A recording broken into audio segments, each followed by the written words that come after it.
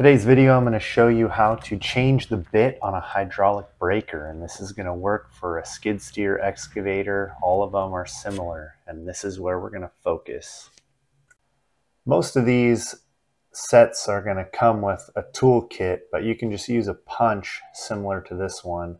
Uh, any punch will work to knock out that pin.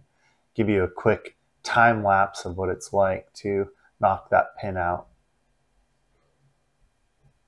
the pin holds in a metal dowel and I'll show you how the pin and dowel work. So all this pin does is it slides and locks this into place. So see how it sits in here.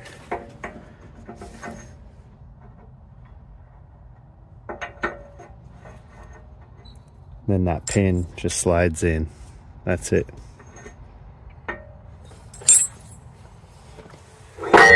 Shows why you have to have the notch in the right place. We then slide this dowel back into place and then you're going to be able to fit the pin in there. And there you have it. You can replace the bit. It's a pretty simple process. It's just hidden a little bit.